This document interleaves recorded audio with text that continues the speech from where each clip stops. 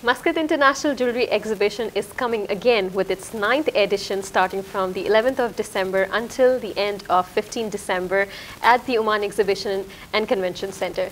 Joining us now is Mr. Tony, the Managing Director of Vega Trade and Exhibitions. Hello, sir. Hello.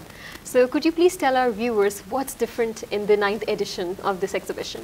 Mm. Uh, in, in ninth edition this time we have a lot of the international jewelries, okay, and a new face from outside who are interested to, to in touch with Oman market.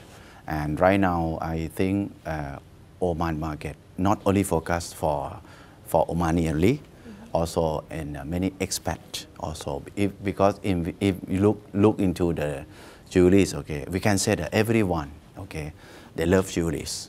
Okay, and I also expect uh, to see the Omani even expat to, to visit the, the, our, our show, in, especially this time because we have really a lot of new collection. Mm -hmm. And for the, all the price range we have from the very, very high end mm -hmm. until in reasonable, reasonable price right. for, uh, for the, all, the, all the age of, right. the, of the people also. Yeah. So this exhibition is open to the traders or individual customers as well? Okay. This exhibition we open uh, for the trade purpose either or for the consumer base also. Mm -hmm. So we welcome to for all of them. For both traders and consumers yes. here. And uh, what is the price range? How do you see it different from the market? Okay. Uh, you know already this is end of the year. Mm -hmm. Okay.